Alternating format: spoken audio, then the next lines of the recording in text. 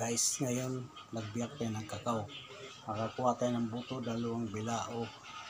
Pibilad natin ito. Ngayon, napakainit ito ngayon, 42 degrees Celsius ang init. Kaya itong mga buto na to madaling matuyo ito.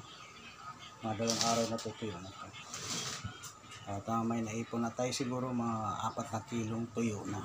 Pag sabay-sabay natin ito ipapagiling para magiging chocolate. Ito guys yung mga pinagbalatan.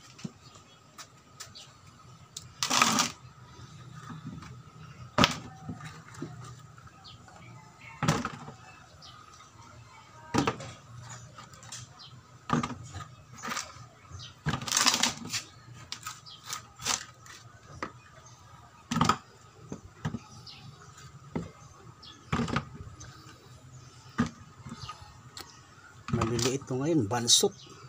Sa init, grabe. Di katulad nung una king no, malalaki na. Ay, maliliit. Ay, maliliit. Go. Bansot sa init.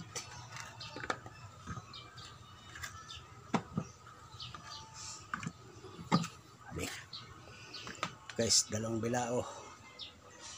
Bibilad natin yan. Tayo magpapagiling. Kung natuyo na ito lahat, wala ng bunga. Papagiling natin ito para magiging chocolate. Guys, hanggang dito na lang. Like nyo lang at isa-subscribe para sa sunod mga upload. Updated kayo. Thank you guys.